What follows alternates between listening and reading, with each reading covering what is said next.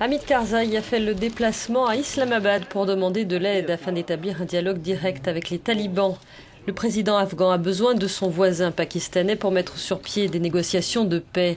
Mais Kaboul entretient des rapports orageux avec Islamabad et l'accuse régulièrement de jouer un double jeu et d'aider l'insurrection talibane. Officiellement, Nawaz Sharif a affiché ses bonnes intentions.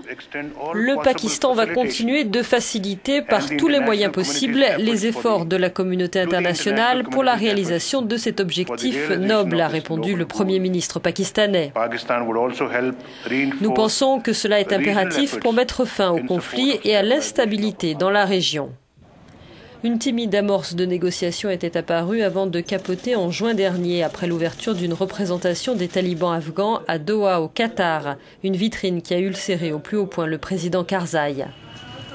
Pour l'instant, les talibans afghans refusent de négocier avec celui qu'ils considèrent comme la marionnette des États-Unis.